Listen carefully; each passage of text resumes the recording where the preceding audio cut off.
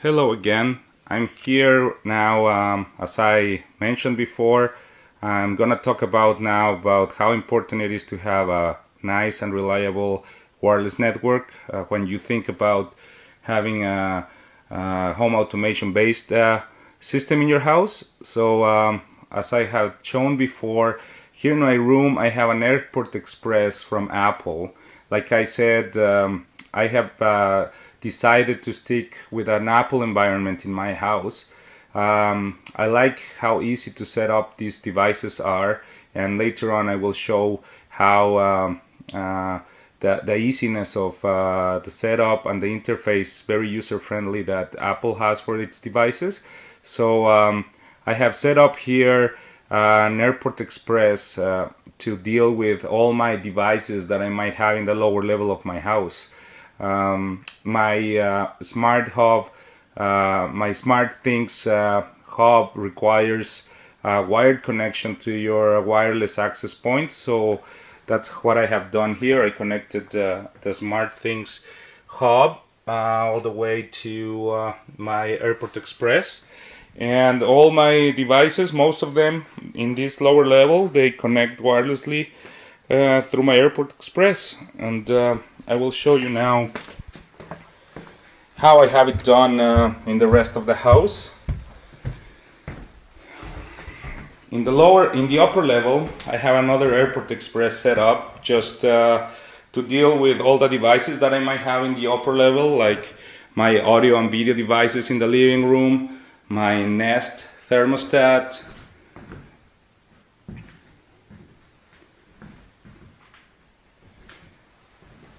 my Nest Protect modules, and um, one feature that I like a lot from uh, uh, the Airport Express uh, stations is that if you have a speaker and uh, it has an auxiliary input, um, if you connect it to the back of the port here on the Airport Express.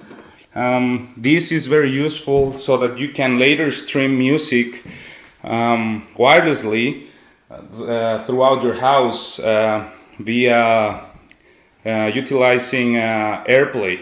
This is very a very nice feature I like and later on when I explain how I stream music around my house um, I will explain a little bit more about AirPlay and how having these stations make it very nice to have in in your house setup.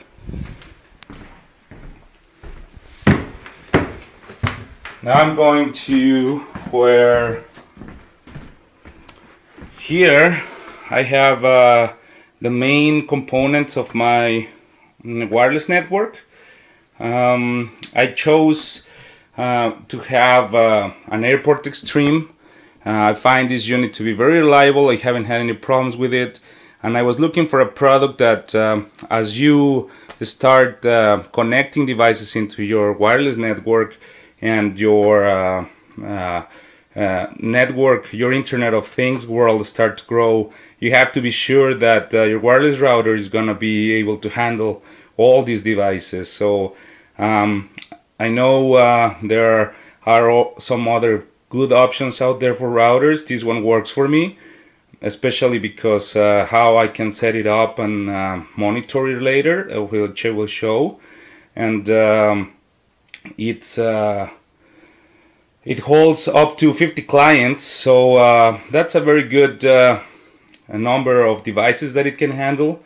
And that in that way, you know that your bandwidth bandwidth is not going to be compromised and that's why I also have my Airport Express station so that if they require some help, if the main wireless router requires some uh, help taking off some of the load, the other two uh, stations can pick up and uh, deal with uh, some of the devices uh, in different places of the house. So that's what I have here.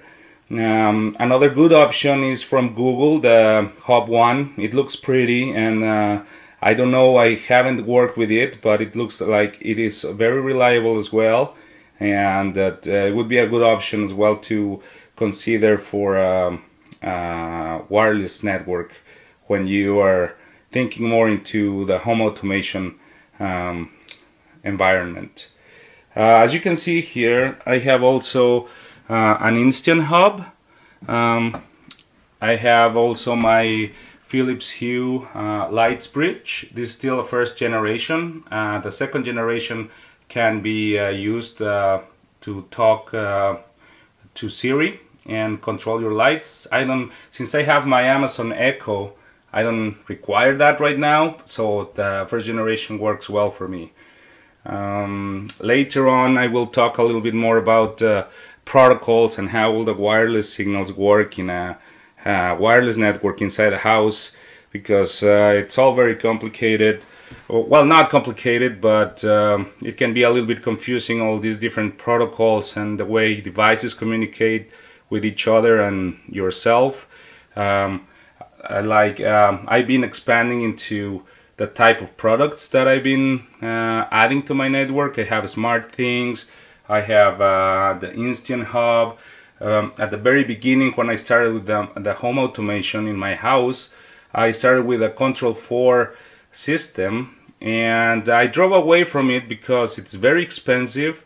Um, while it is nice to have everything centralized in one single app, um, the cost is just too much and uh, what I really didn't like from Control 4 is that you need a dealer to uh, do any modifications that you want to do in your system. You cannot do anything on your own. You have to always call a dealer so it's done for you. And um, nowadays I think it has changed, but also before in the past you needed to have uh, and pay for uh, individual licenses to have their software installed in your mobile devices, which was very annoying for me and very expensive. I think they have gotten away with that now, but still, uh, Control 4, while it's a good system, um, I just don't like it because it's very expensive and uh, you can find a lot of other options now uh, for a lot less of what a Control 4 system costs.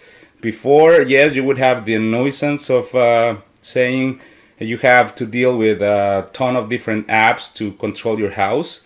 But now with the Amazon Echo, which uh, is working as an integrator and your own main interface for your systems at your house, this is not the case anymore. You will be able to uh, work pretty much with everything using your voice and uh, you will not have this issue of having to use 20 apps or 30 apps to control everything in your house because everything will start to work together and you'll be able to use uh, Alexa to control everything at some point. So um, this is what I have right now. Now I always mentioned from the very beginning that uh, I'm a fan of uh, my iPhone and also uh, uh, the Apple products because of their easiness to configure and uh, the reason why I like my network products to be on the uh, Apple environment is because of this here. There is this app called Airport Utility. Uh, probably you cannot read it very well, but it's an it's an app that is free um, from uh, the App Store, um, and like that you can see what I just showed uh, before how my wireless network is uh, laid out. I have my main Airport Extreme that is connected to the outside world and then there you can see all the airport stations that you may have installed in your house. Here um, I have my upper level and my lower level airport stations, uh, airport express stations that handle and help uh, the load uh, from the main airport extreme. It's a very nice app. I really like it. It really makes you see the architecture um, and layout of uh, your wireless network. And you can click on every device once you set it up and uh, you can see um, information about your network how many wireless clients that specific device is handling. I uh, really like uh, that option. Sometimes you, they have information about uh, the devices themselves. Sometimes it's just uh, their IP addresses, but um, at least you know the load that your device is uh, handling at that specific time. Um, here, for example, on um, uh, let's see if I can focus a little bit better. It's not cooperating right now, but here, for example, this is my lower level you can see the quality of the connection of your um, uh, access point there and uh, you can see what kind of connection what frequency it's using. Uh, right now it shows that it has an excellent connection. This also is a good indication of where your devices might be in the house and the access that you are having to your wireless network uh, that this will be helpful to know that your devices are going to be working properly because they have the right access uh, to your wireless network. So having an indication of the quality of your network on each device, I find it very useful. Here also you can see how many wireless clients uh, my lower level uh, Airport Express station is handling. And uh, you can see as well my upper level here how also the, the connection quality how it is which is uh, at the moment excellent as well and how many wireless clients it's handling I like to see uh, all this. Uh, you can you have a light indication to know that everything is working fine on your network. Yellow means that um, there must be you don't have a connection to the internet uh, at some point uh, where uh, the yellow light might be showing. And of course if you have a red light it means that that device is out of your network and it, it it's helpful to have when you're trying to troubleshoot why you're losing connectivity uh, with uh, one or other device. This is called the airport utility and uh, I think it's a very nice tool to have. Um, like I said you can download it from the app store. It's, it's free and um, it's uh, really nicely configured so that you can have a clear view of how your network is working inside your house.